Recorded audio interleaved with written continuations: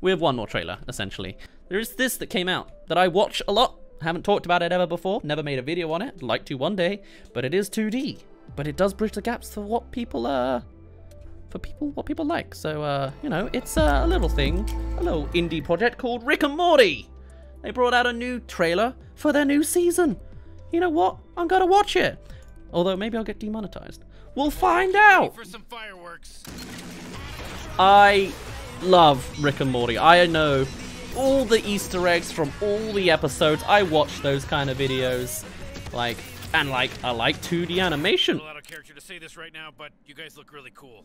Adult Swim, very cool.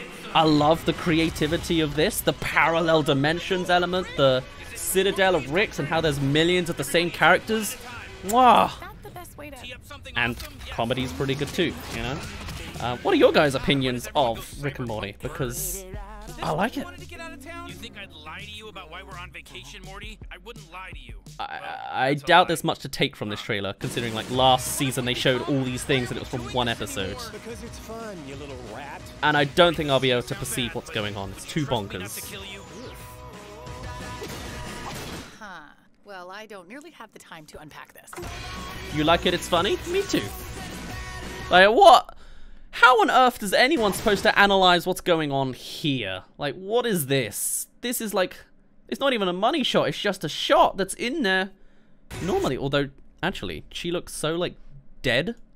I feel like she's not even there. What do I know? New Rick and Morty. There you go. Oh, so it's a little small thing. Pickle Rick is the least funniest part of Rick and Morty, though. Sorry to ruin your dreams there, friendly tune. on Adult Swim. And stream seasons one through. Uh, I don't need to see HBO. We don't have HBO here. Fair enough. Um, I like.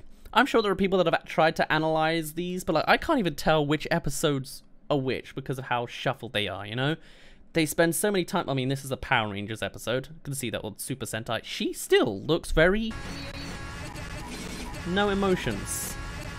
Okay, I guess that's what's going on there. There's a plot with a she Morty accidentally melted her mind and has to fix it. There's a Godzilla one. Everyone gets taken by aliens. There's a whip one. Uh, acid rain joke. Uh, Mighty Morphin Power Rangers, the one with the plot line in it. Uh, yeah, like, uh, who's that? The president? A different Rick? I could never tell. I don't know why they're slapping mailboxes in a parallel dimension, but they are. What is going on here? I will never be able to understand Rick and Morty based off of just trailers alone, but I think it's very it's very fun anyway. I'm definitely going to watch it, you know. They have so many references to I, I would not want to be a writer for Rick and Morty, but like the amount of stuff they cram into a single episode is just amazing. I really love just like all, all of it overall. It's really like ahead of its game in my opinion. I just really like it.